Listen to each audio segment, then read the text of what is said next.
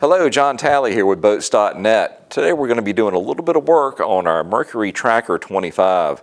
Today we're going to go ahead and replace the water pump. This one's been sitting up for a while, so I'm betting that pump is probably hard as a rock and it needs to be replaced before we put this thing into service. So let's go look at the parts we're going to use and then we'll dive into this project. Now with this one part number, you get a very comprehensive kit. It has the impeller, all the gaskets, the wear plates, the O-rings, any seals, all of it is in one box and ready to go. So now that we've got it laid out, let's go over there and get it installed.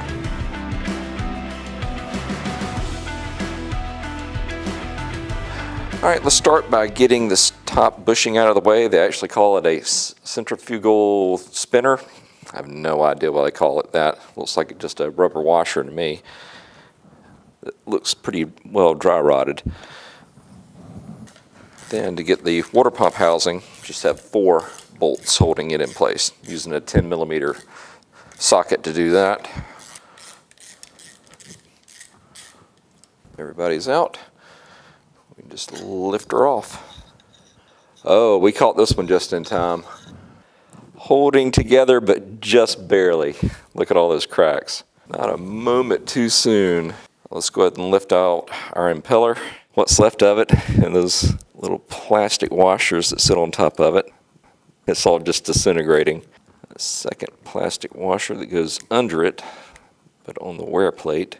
See if we can pry it up right here. There we go.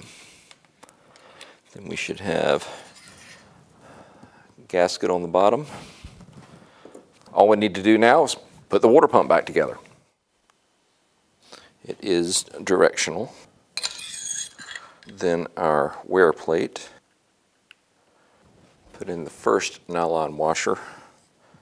Then we'll set this little key that holds it in place on the input shaft. Now we can bring down the impeller itself. Before we seat it all the way, let's put a little bit of grease on the wear plate because on her first start, of course, there's not going to be any water up here, and we don't want to damage it straight out of the gate. So just a couple of little dabs like that will do it. So when she starts up, be good to go. Now here's where you have that second nylon washer that goes in place. Get our O-ring put it inside the housing. A little bit more grease inside of the housing. Now we can bring it down. we want to turn this clockwise as we push down. That way it'll be bending the actual ends of the impeller in the correct direction. So that's in place, it's pushed down. Now we just need to get our bolts back in place.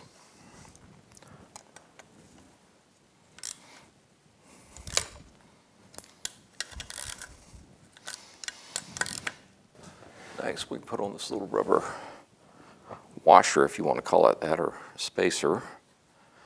Then, last thing we need to do is get this little pickup adapter, this little groove right here. That little groove just needs to get tucked in to the housing.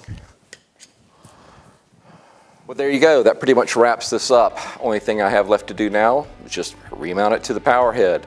Well, listen, if you need these or any other parts for your machine, why don't you come see us at boats.net and we can get you taken care of. If you have any questions or comments, leave them in the section below and I'll do my best to answer them. And hey, if you like what you see, why don't you go ahead and hit that subscribe button. That way you can keep up with whatever I'm working on next. We just want to say thank you for shopping here with us at boats.net and we will see you in the next video. Y'all have a great day.